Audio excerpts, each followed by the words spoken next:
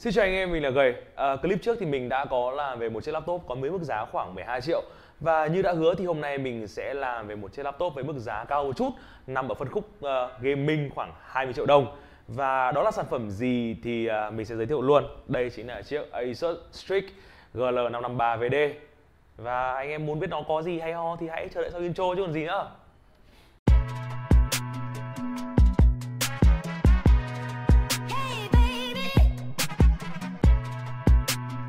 Cũng tương tự như video lần trước thì mình sẽ xin được nói về một số điểm mà mình hài lòng cũng như là chưa hài lòng về sản phẩm này.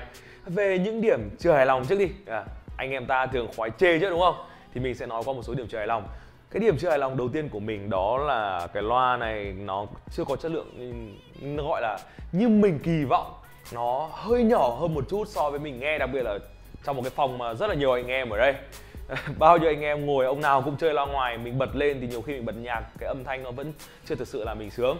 À, cái thứ hai nữa là cái âm bass của cái loa này thì nó hơi bị mỏng một chút. Tất nhiên là âm bass ở trên một chiếc loa máy tính nó sẽ mỏng rồi nhưng mà cái ờ, âm bass của chiếc loa này thì nó có vẻ hơi mỏng hơn các chiếc loa khác một chút. Đó chính là cái điểm đầu tiên là mình không thích về chiếc máy này. Cái điểm thứ hai mà mình chưa thực sự thích ở chiếc máy này đó chính là tuy nằm ở với mức giá khoảng 20 triệu đồng à, thậm chí là lên đến 22 hay hình như là 25 triệu khi mà vừa mới ra mắt. Thế nhưng sản phẩm này lại thiếu anh em biết thiếu cái gì không? Thiếu ổ SSD à, ờ, với một cái sản phẩm laptop với mức giá khoảng hơn 20 triệu đồng thì kể cả gaming hay không gaming thì bản thân mình thì hầu như là uh, thích có một cái chỗ ổ SSD hơn. Và có thể hãng có thể uh, ra giảm gì đó để có thể căn chỉnh là vừa thêm một cái ổ SSD để cho cái cấu hình nó vừa hợp lý hơn. Tuy nhiên thì uh, với cái mức giá như vậy thì chiếc máy này lại chưa có ổ SSD là cái trải nghiệm của mình nó chưa thực sự đã. Đó đấy là hai điểm mà mình chưa thực sự hài lòng về sản phẩm này. Thế bây giờ quay sang ờ, những điểm mà mình hài lòng đi.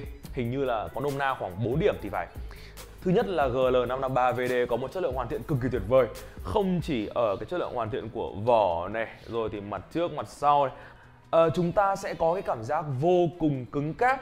Tuy cái trọng lượng nó có hơi nặng một chút khoảng độ 2,54 kg nếu mình không nhầm thì phải. Thế tuy nhiên bù lại chúng ta sẽ có cái mặt lưng bằng nhôm này à, Cái bề mặt phần uh, chiếu nghỉ cũng như là cái phần kê tay là bằng nhựa. À, tuy nhựa thế nhưng mà cái phần này vẫn là rất là chắc chắn. Và hơn nữa thì cái phần nhựa này sẽ giúp cho anh em không bị truyền nhiệt quá nhiều trong quá trình chơi game. Bởi vì khi mà chơi game thì rõ ràng là CPU cũng như là GPU sẽ phải nóng lên đúng không nào? Tuy nhiên nó sẽ làm giảm thiểu cái quá trình truyền nhiệt vào cái phần à, kê tay của chúng ta giúp cho quá trình chơi game nó thoải mái hơn và hơn nữa là mình cảm giác như cái bản lề của màn hình cũng rất tốt cho mình cái cảm giác gần lên gần xuống rất là chắc chắn và mình hoàn toàn có thể mở bằng một tay Bàn phím cũng là một trong những cái điểm nhấn mà mình cho nó vào phần thiết kế khi mà mình có một cái cảm giác rất là sướng trong quá trình chơi game cũng như là gõ phím. Độ dày của phím là khoảng 2,5 mm với độ nặng rất vừa phải cho quá trình gõ cũng như thao tác cực kỳ thoải mái và tuyệt vời.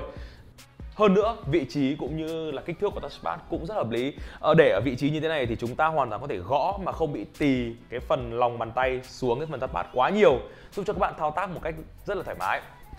Đó là những gì mà mình thích về phần thiết kế. Thế còn nói về phần thứ hai đi. Điều mình thích thứ hai đó chính là về phần màn hình ở trong mức giá khoảng 20 triệu đặc biệt là trong phân khúc gaming ờ, cái phân khúc mà thường tập trung nhiều hơn vào cấu hình thay về những cái trải nghiệm khác ví dụ như màn hình thì đây là một cái màn hình mình cho rằng là nó có thể gọi như là tuyệt vời nhất ở trong phân khúc này rồi.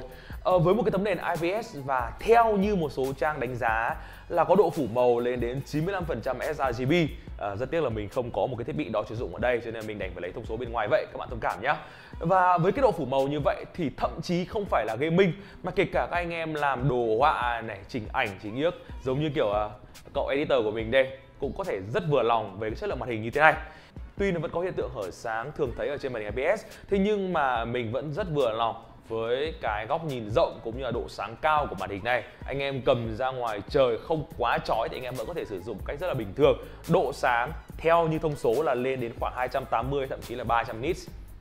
Điểm thứ ba mà mình thích về sản phẩm này tất nhiên là về cấu hình rồi. Ở trong cái phân khúc khoảng 20 triệu đồng chúng ta sẽ được sở hữu một con chip i5 7300HQ và cũng như là cả GTX 1050 ở cái thế hệ GTX 10X series, thế hệ Pascal thì cạc ở trên laptop đã gần như không chênh lệch quá nhiều so với cạc ở trên desktop rồi. Nó chỉ chênh lệch khoảng độ tầm từ 5 đến giỏi lắm là 7 8% gì đấy thôi. Cho nên là các bạn yên tâm là cái cạc 1050 ở trên trên laptop này sẽ gần như là không chênh lệch quá nhiều so với phiên bản ở trên desktop và cũng đúng như mình kỳ vọng thì nó có khả năng chơi game tương đối tốt.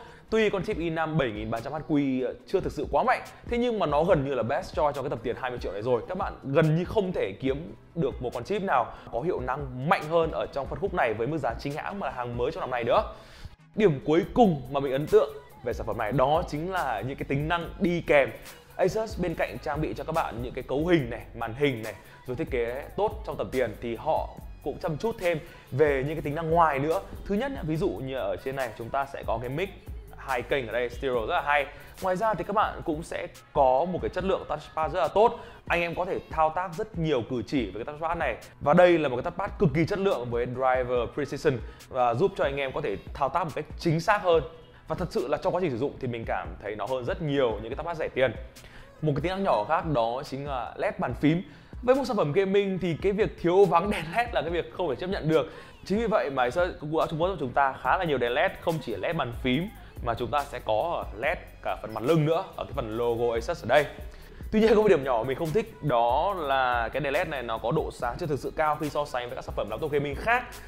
Vậy là đó là những cái điều mà mình thích cũng như là chưa thích về sản phẩm này. Mình điểm lại những điều mình chưa thích nhá.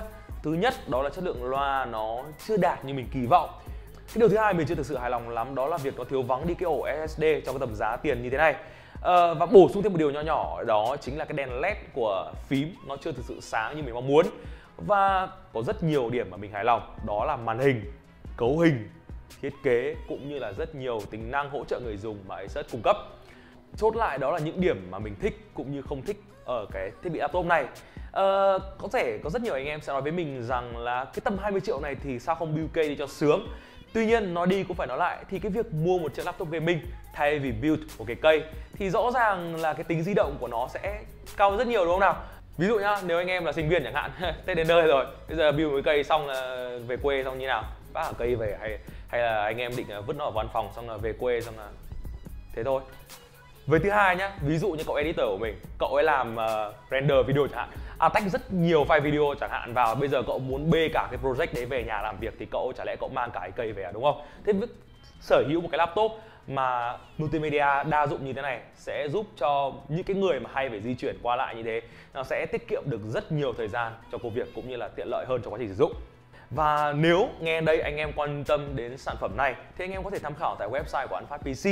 À, nhớ đọc thật kỹ nhá, bởi vì sẽ có rất nhiều anh em cần phải quan tâm ví dụ như là các gói bảo hành cũng như là quà tặng đi kèm này. Và nếu anh em cho rằng đây là một sản phẩm chưa thực sự tốt hoặc là nếu anh em cũng thấy đây là sản phẩm tốt thì cũng có thể comment bên dưới cho mình biết. À, video này là hết rồi. Xin chào và hẹn gặp lại anh em trong các số video lần sau. Bye bye.